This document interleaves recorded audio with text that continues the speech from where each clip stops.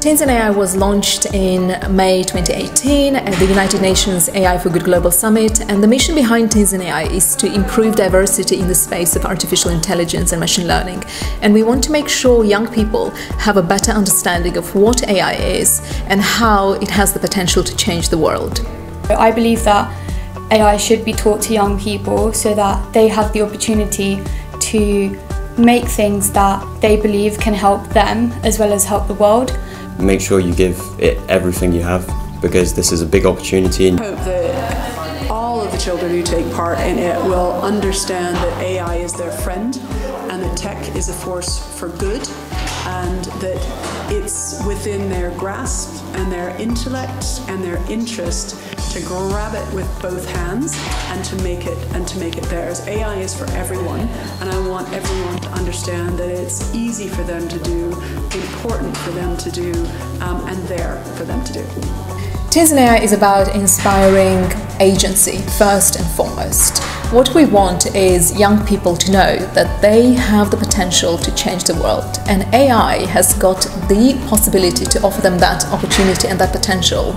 So, this year we're focusing on United Nations Sustainable Development Goals, of which there are 17, and young people will have a chance to pick one of the challenges and solve it using data science, artificial intelligence, and machine learning. It's definitely the future of technology and why not start now? There's never been a more important time to understand um, how technology works, how our lives are being impacted by things like artificial intelligence.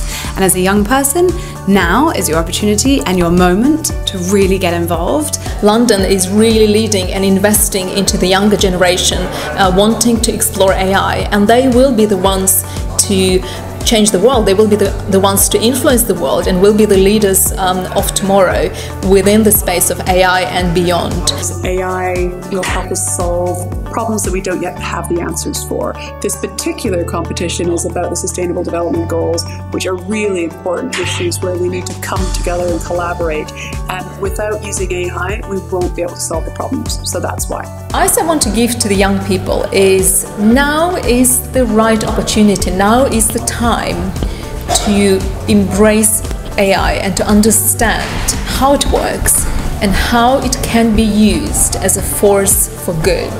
Ethics is one of the main things that needs to be considered when creating an algorithm and AI can be used in many ways. I think that AI in the future could make us more human. What I'm expecting from this hackathon is a lot of young people showing to the rest of the world that they can and they will change the world. And all they need is an opportunity like this and an environment, an environment that will support them and nurture their interest and their passion. Anybody who'd like to get involved, this is the time, sign up this is the time for you to come and join us in helping make sure that young people understand and can deploy artificial intelligence.